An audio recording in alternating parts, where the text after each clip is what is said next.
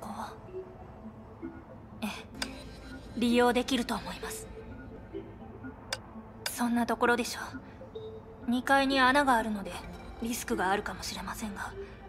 今はもうさ壁の方で横になってください。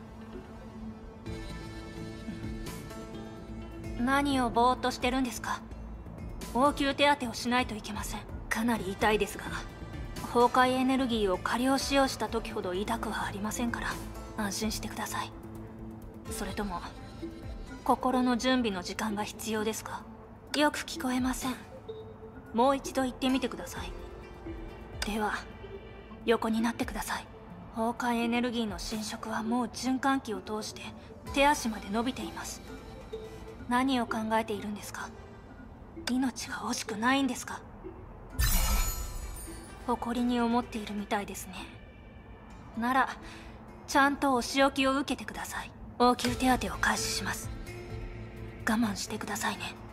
これは天命科学研究部門の最新の成果。崩壊エネルギーを一般的なエネルギーに転換する携帯型装置。月の輪です。テレサ司教の話通り優等生なんですね。はい。これはムーンライトスローンの派生応用技術です。性能もパワーも本物のムーンライトスローンと比べられませんが携帯可能で個人の作戦で使えるという利点があります。しかし今必要なのは崩壊エネルギーを転換するパワーです。装置はすでに起動しています。生物識別システムが認識した後あなたの体内にある崩壊エネルギーを吸収し転換を始めます。ですがあくまで応急です。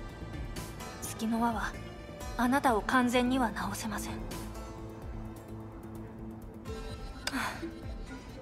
もう少し自分のことを考えてください。それと治癒による拒絶反応もそろそろ始まります。弱音を吐かないんですか？強い子ですね。ですが辛い時は我慢する必要はありません。拒絶反応は長く続きません。目を閉じて楽私が守りますから。隊員。どうでしたか？少しは良くなりましたか？ならいいんです。お礼は私ではなくアインシュタイン博士に言ってください。少し確認します。ええ。顔にあった痕跡もだいぶ消えましたね。ですが完全になくすには専門的な治療を受けないといけません。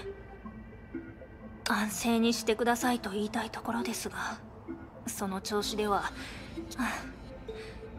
まあ構いません。月の輪を装着すれば侵食がひどくなるようなリスクは防げるはずです。あの約束してくれるなら任務復帰を許可しましょう。